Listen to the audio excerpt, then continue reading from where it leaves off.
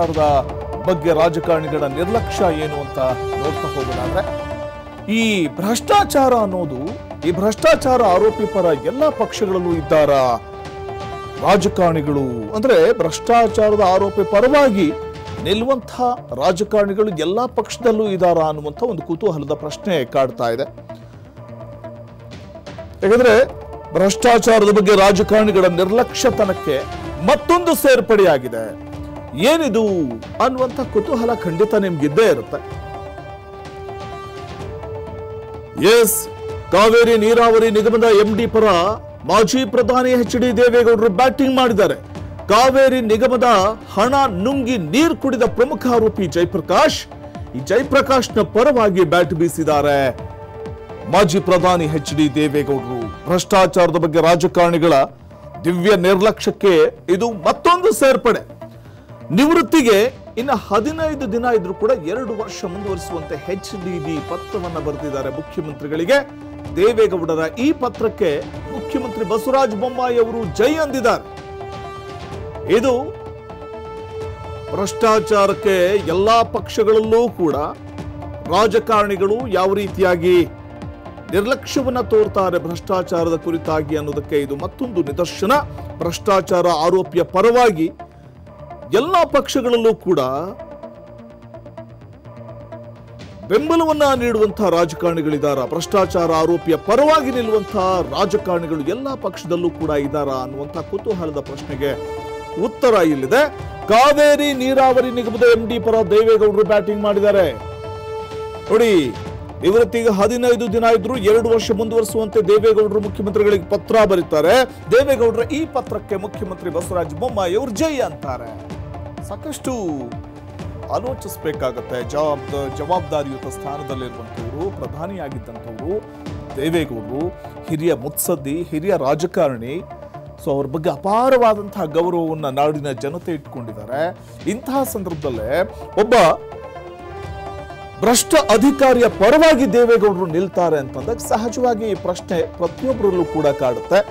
ಯಾಕಂದ್ರೆ ಜಯಪ್ರಕಾಶ್ ವಿರುದ್ಧ ಎಸಿಬಿಗೆ ಈಗಾಗಲೇ ದೂರು ಸಲ್ಲಿಕೆಯಾಗಿದೆ. ಪುತ್ರನ ಕಂಪನಿಗೆ ಕಾಮಗಾರಿ ನೀಡಿ ಕಿಕ್ ಬ್ಯಾಕ್ ಪಡೆದ ಆರೋಪ ಅವರ ಮೇಲಿದೆ. ಜಯಪ್ರಕಾಶ್ ಮೇಲಿದೆ.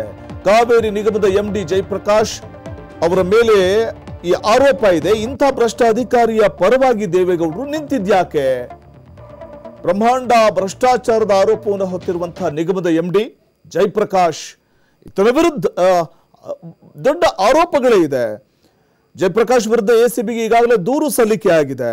ಇಷ್ಟಿದ್ರೂ ಕೂಡ ಪುತ್ರನ ಕಂಪನಿಗೆ ಕಾಮಗಾರಿ ನೀಡಿ ಕಿಕ್ ಬ್ಯಾಕ್ ಪಡೆದ ಆರೋಪ ಜಯಪ್ರಕಾಶ್ ಮೇಲಿದೆ. ಸೊ ಇಷ್ಟಾದರೂ ಕೂಡ ಇಂಥ ಭ್ರಷ್ಟಾಧಿಕಾರಿ ಪರವಾಗಿ ದೇವೇಗೌಡರು ನಿಂತ್ಕೊಳ್ತಾರೆ ಅಂತಂದಾಗ ಸಹಜವಾಗಿ ಪ್ರಶ್ನೆ ಕಾಡುತ್ತೆ. ದೇವೇಗೌಡರ ಮನವಿಗೆ ಸಿ ಎಂ ಬೊಮ್ಮಾಯಿ ಓಕೆ ಅಂತ ಹೇಳಿದ್ದಾರೆ ಅಂತಂದಾಗ, ದೇವೇಗೌಡರಿಗೆ ಪತ್ರ ಬರೆದಾಗ, ದೇವೇಗೌಡರು ಪತ್ರ ಬರೆದಾಗ ಸಿ ಎಂ ಓಕೆ ಅಂತ ಹೇಳ್ತಾರೆ. ನಾಲ್ಕು ಮಂದಿ ಸಿ ಎಂಗಳು ಬದಲಾದರೂ ಕೂಡ ಜಯಪ್ರಕಾಶ್ ಮಾತ್ರ ಬದಲಾಗಿಲ್ಲ. ಗಮನಿಸ್ತಾ ಹೋಗಬೇಕಾಗುತ್ತೆ. ಸಿದ್ದರಾಮಯ್ಯನವರ ನಂತರದಲ್ಲಿ ಕುಮಾರಸ್ವಾಮಿ ಅವರು ಬಂದರು. ಅದಾದ ಬಳಿಕ ಮೈತ್ರಿ ಸರ್ಕಾರ ಮುರಿದು ಬಿದ್ದ ಬಳಿಕ ಅಧಿಕಾರಕ್ಕೆ ಬಂದಿದ್ದು ಬಿ ಜೆ ಪಿ ಯಡಿಯೂರಪ್ಪನವರು ಬಂದರು ಸಿ ಎಂ ಆದರು. ಅದಾದ ನಂತರದಲ್ಲಿ ಈಗ ಬಸವರಾಜ ಬೊಮ್ಮಾಯಿ ಅವರಿದ್ದಾರೆ. ನಾಲ್ಕು ಮಂದಿ ಸಿ ಎಂಗಳು ಬದಲಾದರೂ ಕೂಡ ಜಯಪ್ರಕಾಶ್ ಮಾತ್ರ ಇನ್ನೂ ಬದಲಾಗಿಲ್ಲ ಅನ್ನುವಂಥದ್ದು ಇಲ್ಲಿ ಗಮನಿಸಬೇಕಾಗತ್ತೆ. ಕಾವೇರಿ ನಿಗಮದ ಎಂ ಡಿ ಜಯಪ್ರಕಾಶ್ ಅಷ್ಟೊಂದು ಪ್ರಭಾವಿನ ಅನ್ನುವಂಥ ಪ್ರಶ್ನೆ ಸಹಜವಾಗಿ ಕಾಡುತ್ತೆ. ಎಲ್ಲ ಪಕ್ಷಗಳಿಗೂ ಕೂಡ ಜಯಪ್ರಕಾಶ್ ಬೇಕಾಗಿರುವಂಥವರು ಅಂತಂದಾಗ ಸಹಜವಾಗಿ ಕಾಡೋ ಪ್ರಶ್ನೆ, ಜಯಪ್ರಕಾಶ್ ಎಲ್ಲ ಪಕ್ಷದ ರಾಜಕಾರಣಿಗಳಿಗೂ ಮಾಡಿರುವಂಥ ಮೋಡಿ ಆದರೂ ಏನು? ಅದೇನು ಮೋಡಿ ಮಾಡಿಬಿಟ್ಟಿದರು ಜಯಪ್ರಕಾಶ್ ಅನ್ನುವಂಥ ಒಂದು ಪ್ರಶ್ನೆ ಉದ್ಭವ ಆಗುತ್ತೆ ಸಹಜವಾಗಿ. ಭ್ರಷ್ಟಾಚಾರದ ಹಣ ಎಲ್ಲ ಪಕ್ಷಗಳಿಗೂ ಕೂಡ ಜಯಪ್ರಕಾಶ್ ಮೂಲಕ ಹಂಚಿಕೆಯಾಗಿದೆಯಾ? ಇದು ಕಾಡ್ತಾ ಇರುವಂಥ ಪ್ರಶ್ನೆ. ಹಾಗಾದ್ರೆ ಬ್ರಹ್ಮಾಂಡ ಭ್ರಷ್ಟಾಚಾರದ ಆರೋಪವನ್ನು ನಿಗಮದ ಎಂ ಡಿ ಹೊತ್ತಿದ್ದಾರೆ. ಜಯಪ್ರಕಾಶ್ ವಿರುದ್ಧ ಎಸಿಬಿಗೆ ಈಗಾಗಲೇ ದೂರು ಸಲ್ಲಿಕೆಯಾಗಿದೆ ಪುತ್ರನ ಕಂಪನಿಗೆ ಕಾಮಗಾರಿ ನೀಡಿ ಕಿಕ್ ಬ್ಯಾಕ್ ಪಡೆದ ಆರೋಪ ಅವರ ಮೇಲಿದೆ. ಇಂಥ ಭ್ರಷ್ಟಾಧಿಕಾರಿ ಪರವಾಗಿ ದೇವೇಗೌಡರು ನಿಂತಿದ್ದೇಕೆ ಅನ್ನುವಂಥ ಪ್ರಶ್ನೆ ಕಾಡ್ತಾ ಇರುವಂಥದ್ದು. ಈ ಬಗ್ಗೆ ಮತ್ತಷ್ಟು ಮಾಹಿತಿಯನ್ನು ಪಡೆಯೋಣ. ನಮ್ಮ ಪ್ರತಿನಿಧಿ ಗೋವಿಂದ್ ಅವರಿಂದ ಗೋವಿಂದ್, ಭ್ರಷ್ಟಾಚಾರದ, ಬ್ರಹ್ಮಾಂಡ ಭ್ರಷ್ಟಾಚಾರದ ಆರೋಪ ಹೊತ್ತಂತವರು ಆದರೆ ಜಯಪ್ರಕಾಶ್ ಅವರು ಆದರೆ ಇಂಥವ್ರ ಪರವಾಗಿ ದೇವೇಗೌಡರು ಬ್ಯಾಟ್ ಬೀಸಿದ್ರ ಅಂತ ವಸಂತ್ ಎಲ್ಲೋ ಒಂದ್ ಕಡೆ ಭ್ರಷ್ಟಾಚಾರ ಒತ್ತಿರುವಂತ ವ್ಯಕ್ತಿ ಪರವಾಗಿ ದೇಶದ ಏನೋ ಮಾಜಿ ಪ್ರಧಾನಿ ಎಸ್ ಟಿ ದೇವೇಗೌಡರು ಅವ್ರ ಪರವಾಗಿ ಮಾತನಾಡ್ತಾ ಇದ್ದಾರೆ ಅಂತ ಹೇಳಿದ್ರೆ, ಎಲ್ಲೋ ಒಂದ್ ಕಡೆ ಈ ಒಂದು ವಿಚಾರದಲ್ಲಿ ದೇವೇಗೌಡರಿಗೂ ಈ ಒಂದು ವಿಚಾರಕ್ಕೂ ಕೂಡ ಎಲ್ಲೋ ಒಂದ್ ಕಡೆ ನೇರವಾದಂತ ಲಿಂಕ್ ಇದೆ ಅಂತ ನಮಗೂ ಕೂಡ ಸಾಕಷ್ಟು ಅನುಮಾನಕ್ಕೆ ಈಡಾಗಿರುವಂತದ್ದು ಯಾಕಂದ್ರೆ ಹೇಮಾವತಿ ಮತ್ತು ಗುರೂರು ವಲಯದಲ್ಲಿ ಅನುಷ್ಠಾನಗೊಂಡಂತ ಭಾರಿ ನೀರಾವರಿ ಯೋಜನೆ, ಈ ಟೆಂಡರ್ಗಳಿಗೆ ದೊಡ್ಡ ಮಟ್ಟದ ಕಿಕ್ ಬ್ಯಾಕ್ ಮತ್ತು ಅವ್ಯವಹಾರ ಆಗಿದೆ ಅಂತೇಳಿ ಕಾವೇರಿ ನೀರಾವರಿ ನಿಗಮದ ವ್ಯವಸ್ಥಾಪಕ ನಿರ್ದೇಶಕರು ಮತ್ತು ಪ್ರಧಾನ ಇಂಜಿನಿಯರ್ ಆದಂತ ಕೆ ಜಯಪ್ರಕಾಶ್ ಅವರ ಮೇಲೆ ಒಂದು ಗಂಭೀರವಾದಂತಹ ಆರೋಪ ಇದೆ. ಈ ಒಂದು ಆರೋಪಕ್ಕೆ ಸಂಬಂಧಪಟ್ಟಂತೆ ಎ ಸಿ ಬಿ ಅವರು ಎ ಸಿ ಬಿಗೆ ಒಂದು ದೂರನ್ನು ಕೂಡ ಕೊಟ್ಟಿದ್ರು. ಆದ್ರೆ ಎಲ್ಲೋ ಒಂದ್ ಕಡೆ ಈ ಒಂದು ವಿಚಾರದಲ್ಲಿ ಸ್ವತಃ ಮಾಜಿ ಪ್ರಧಾನಿ ಎಸ್ ಟಿ ದೇವೇಗೌಡರಿಗೆ ಯಾಕೆ ಇಷ್ಟೊಂದು ಆಸಕ್ತಿ ಬಂತು?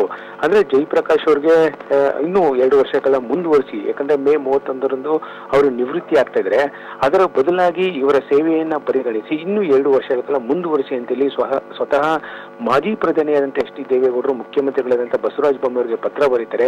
ಮುಖ್ಯ ಎಲ್ಲೋ ಒಂದ್ ಕಡೆ ತಮಗೂ ಕೂಡ ಗೊತ್ತಿದ್ದಂಗೆ ಒಂದ್ ರೀತಿ ಆತ್ಮೀಯತೆ. ಜನತಾ ಪರಿವಾರದಿಂದ ಬಂದಂತವರು ಬಸವರಾಜ ಬೊಮ್ಮಾಯಿರು. ಹಾಗಾಗಿ ದೇವೇಗೌಡರು ಅವ್ರ, ಮತ್ತು ಅವರ ನಡುವೆ ಎಲ್ಲೋ ಒಂದ್ ಕಡೆ ಒಂದು ಉತ್ತಮವಾದಂತ ಬಾಂಧವ್ಯ ಸಂಬಂಧ ಕೂಡ ಇದೆ. ಹಾಗಾಗಿ ದೇವೇಗೌಡರೇ ಹೇಳಿದ್ಮೇಲೆ ನಾವ್ಯಾಕೆ ಮಾಡಬಾರ್ದು ಅಂತೇಳಿ ಅವ್ರನ್ನ ಮುಂದುವರ್ಸೋದಕ್ಕೆ ಈಗಾಗಲೇ ಒಂದು ಸೂಚನೆಯನ್ನು ಕೂಡ ಈಗಾಗಲೇ ಸಂಬಂಧಪಟ್ಟ ಅಧಿಕಾರಿಗಳಿಗೆ ಮುಖ್ಯಮಂತ್ರಿಗಳು ಕೂಡ ಕೊಟ್ಟಿದ್ದಾರೆ. ಹಾಗಾಗಿ ಇದೆಲ್ಲವೂ ಕೂಡ ನೋಡೋದಾದ್ರೆ ಎಲ್ಲೋ ಒಂದ್ ಕಡೆ ಜಯಪ್ರಕಾಶ್ ಅವರು ಅಷ್ಟೊಂದು ಇನ್ಫ್ಲೂಯೆನ್ಸ್ ಪರ್ಸನ್ ಆಗಿದಾರ ಯಾಕಂದ್ರೆ ಎರಡ್ ಸಾವಿರದ ಹದಿಮೂರರಲ್ಲಿ ಹಿಂದೆ ಏನು ಸಿದ್ದರಾಮಯ್ಯ ಮುಖ್ಯಮಂತ್ರಿ ಆದಂತ ಸಂದರ್ಭದಲ್ಲೂ ಕೂಡ ಜಯಪ್ರಕಾಶ್ ಅವರು ಇದೇ ಹುದ್ದೆಯಲ್ಲಿ ಇದ್ರು. ಎರಡ್ ಸಾವಿರದ ಹದಿನೈದವರೆಗೂ ಇದ್ರು. ತದ ಬಳಿಕ ಎರಡ್ ಸಾವಿರದ ಹದಿನೆಂಟು ಹತ್ತೊಂಬತ್ತಕ್ಕೆ ಬಂದ್ರು. ತದ ಬಳಿಕ ಯಡಿಯೂರಪ್ಪ ಅವ್ರ ಸರ್ಕಾರದಲ್ಲಿ ಕೂಡ ಇದೇ ಒಂದು ಪೋಸ್ಟ್ ಬಂದ್ರು. ಈಗ ಬೊಮ್ಮಾಯಿ ಅವರು ಮುಖ್ಯಮಂತ್ರಿ ಆಗಿದ್ದಾರೆ. ಮತ್ತೆ ಅವರೇ ಮುಂದುವರೆದಿದ್ದಾರೆ. ಹಾಗಾಗಿ ಇದೆಲ್ಲವೂ ಕೂಡ ನೋಡೋದಾದ್ರೆ ಜಯಪ್ರಕಾಶ್ ಅವರ ಮೇಲೆ ಅಷ್ಟು ಒಂದು ದೊಡ್ಡ ಮಟ್ಟದ ಒಂದು ಆರೋಪ ಇದ್ರೂ ಕೂಡ ಕಿಕ್ ಬ್ಯಾಕ್ ಪಡೆದ ಒಂದು ಆರೋಪ ಇದ್ರೂ ಕೂಡ ಎಲ್ಲೋ ಒಂದ್ ಕಡೆ ಅವ್ರನ್ನ ಮುಂದುವರಿಸುವಂತ ಒಂದು ಕಾರಣ ಏನಿತ್ತು ಅವರ ಅಷ್ಟೊಂದು ಇನ್ಫ್ಲೂಯೆನ್ಸ್ ಇದೆಯಾ? ಇದರ ಒಂದ್ ಕಡೆ ಬಿಜೆಪಿ ನಾಯಕರು ಕೂಡ ಅಷ್ಟೊಂದು ಒಂದು ಬೇಕಾಗಿದಾರ. ಅದೇ ರೀತಿ ಕಾಂಗ್ರೆಸ್ ನಾಯಕರು ಕೂಡ ಬೇಕಾಗಿದಾರ, ಅಥವಾ ಜೆಡಿಎಸ್ ನಾಯಕರು ಕೂಡ ಬೇಕಾಗಿದ್ದಾರೆ ಅನ್ನೋದು ಈಗ ಮೇಲ್ನೋಟ ಕಂಡು ಬರ್ತಿದೆ. ಹಾಗಾಗಿ ಈ ಒಂದು ವಿಚಾರದಲ್ಲಿ ಸ್ವತಃ ಮಾಜಿ ಪ್ರಧಾನಿ ಎಷ್ಟೇ ದೇವೇಗೌಡರ ಆ ಕಡೆ ಕೇಳ್ತಿರೋದು ನೋಡಿದ್ರೆ, ಖಂಡಿತವಾಗ್ಲೂ ಇವ ಈ ವ್ಯಕ್ತಿಯ ಪರವಾಗಿ ಇನ್ನೆಷ್ಟು ಒಂದು ಹೋರಾಟ ಮಾಡೋದಕ್ಕೆ ದೇವೇಗೌಡರು ನಿರ್ಧಾರ ಮಾಡಿದ್ದಾರೆ ಅನ್ನೋದು ಕಾಣಿಸ್ತಿದೆ.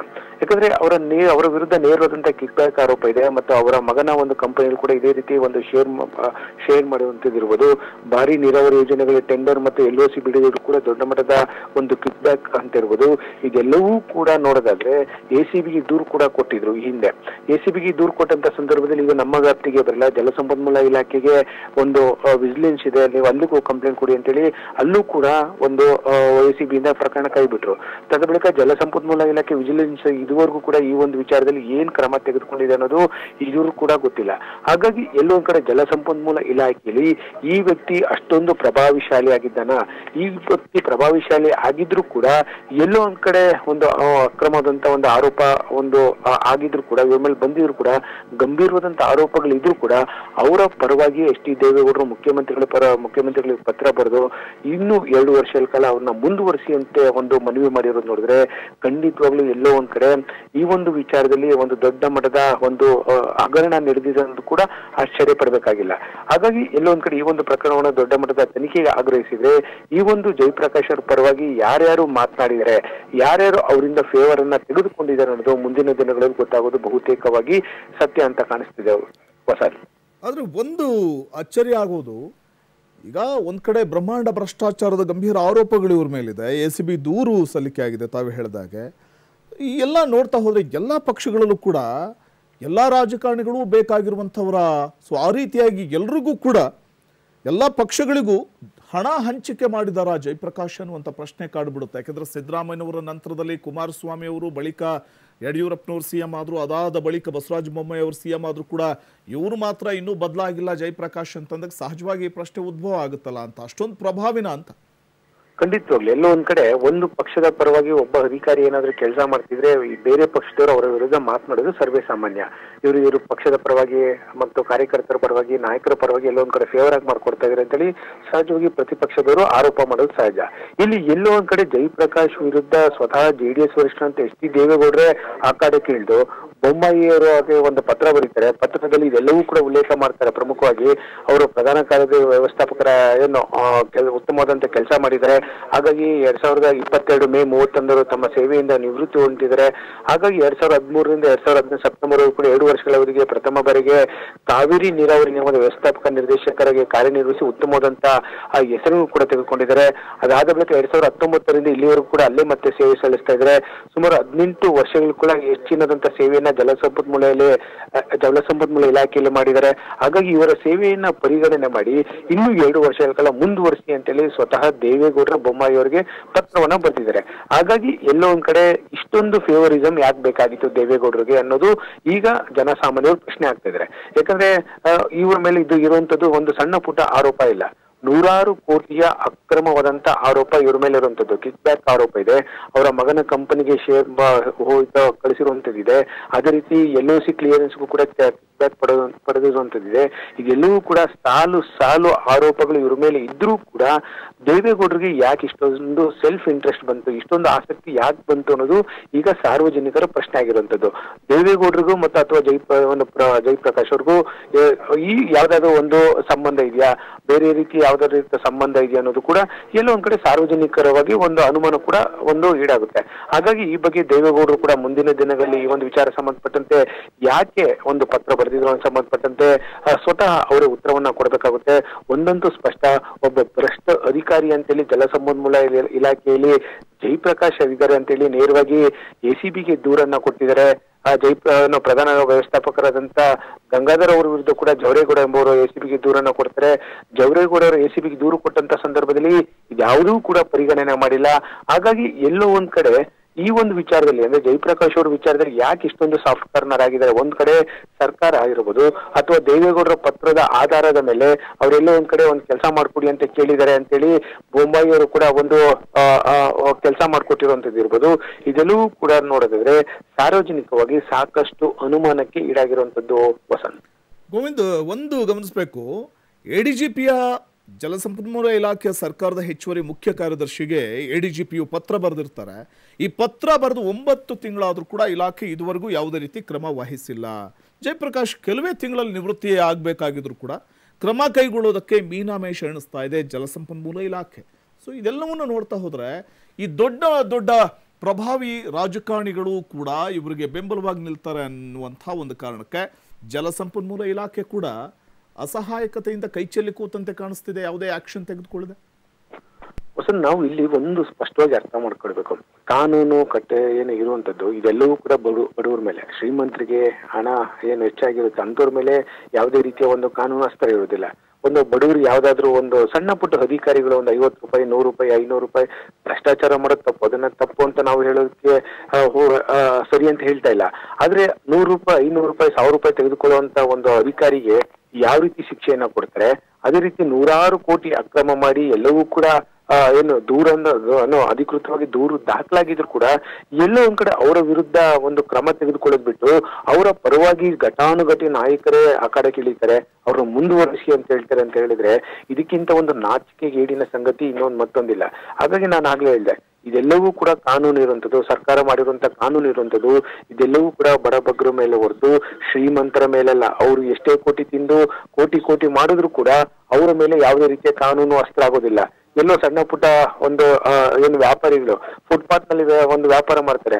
ಹೊಟ್ಟೆಪಾಡಿಗೋಸ್ಕರ ಅವ್ರನ್ನ ತೆರವುಗೊಡಿಸ್ತಾ ಹೊರತು ನೂರಾರು ಎಕರೆ, ಸಾವಿರಾರು ಎಕರೆ ಒಂದು ಅಕ್ರಮವಾಗಿ ಅದನ್ನ ಒಂದು ತೆಗೆದುಕೊಂಡಿರ್ತಾರೆ. ಅಂತವ್ರ ವಿರುದ್ಧ ಕಾನೂನು ಯಾವುದೇ ರೀತಿಯ ಒಂದು ವರ್ಕ್ ಆಗೋದಿಲ್ಲ.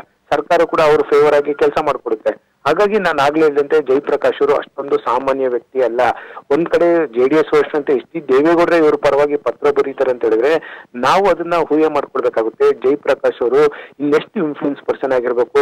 ದೇವೇಗೌಡರ ಪತ್ರದ ಮೇಲೆ ಮುಖ್ಯಮಂತ್ರಿಗಳು